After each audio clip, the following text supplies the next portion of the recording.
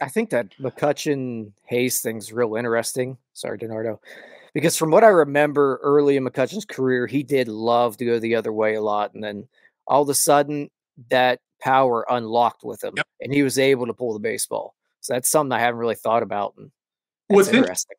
it's interesting because um, coming up, coming up, uh, we'll call it when we get to when you get to Double A as a as a as a right hand hitter, especially. Well, the ballpark in Altoona is not is built specifically for right-handers. So you're you're aiming at a at a short porch in left field and a deep spot in right center field. You get to uh, you get to to Altoona, you get to Indianapolis. The ballpark is essentially set up like PNC Park. So I remember Andrew when Andrew and I were coming up. We both, especially as right-handed hitters, we were both pull right-handed hitters. We were we were using the left center field gap. You know, call it center field to, to left field line more so than anything else. And all of a sudden we get to the big leagues and or, or really AAA for that matter. And Andrew more so than me because uh, he was he's obviously uh, a, a, a full-time right-handed hitter. He would get so upset when he would hit a ball 408, you know, whatever that is, 408 feet to left center field and the PNC notch, and and it would be an out. And he'd be like, "Man, I, I couldn't get that. I couldn't get that ball anymore."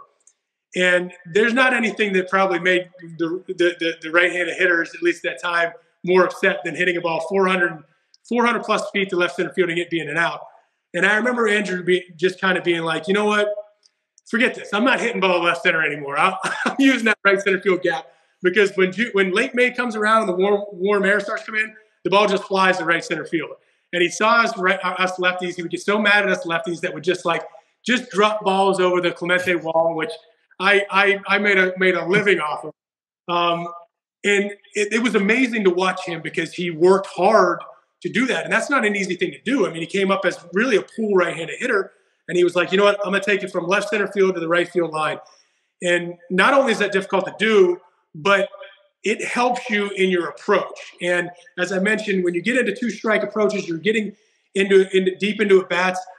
That off field gap approach helps you not only stay on off speed just a tick longer and stay off of it, but it's going to help you make more contact. It's going to help you foul off those fastballs at the top of the zone. You're going to get those jam shots over the middle, the, the second baseman, the middle infielder at big parts of the game. So I see that I see that same approach with with Ke'Bryan, and I'm sure they're going to have conversations about it.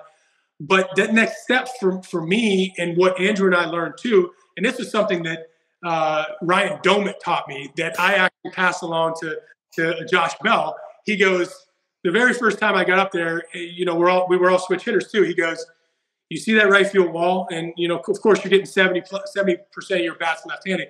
He goes, you need to learn how to use that wall. And I said, and I said, what do you mean, Dewey? And he goes, he goes, we'll talk about it. We'll talk about it more as time goes along. And my approach left-handed went from center, right center field to left center field and he's like, get up on the plate as far as you can and you feel comfortable. Basically, swing the gate open, get the bat out out, and try to use that right field wall.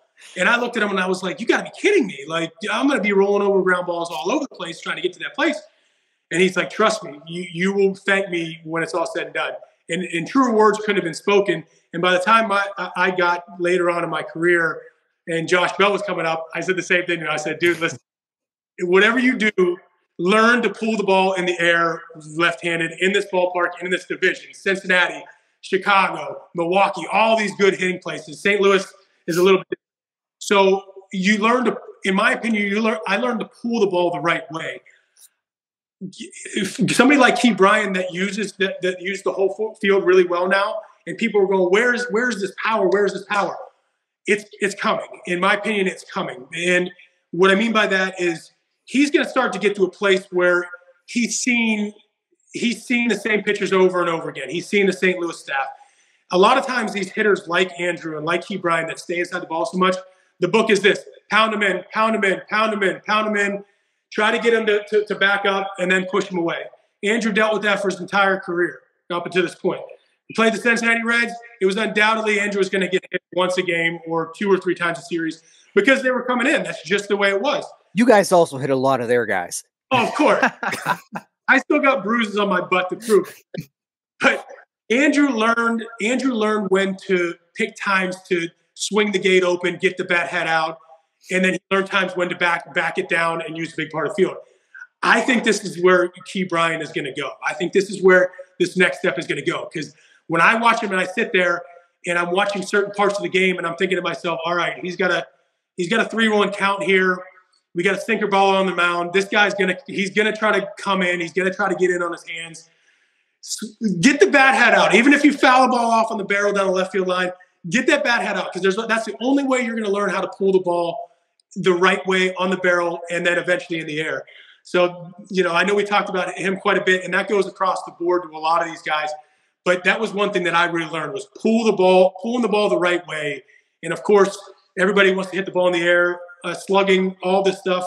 But in PNC Park in particular, if you're left-handed, you can get away with a lot of stuff by hitting the ball in the air to right field.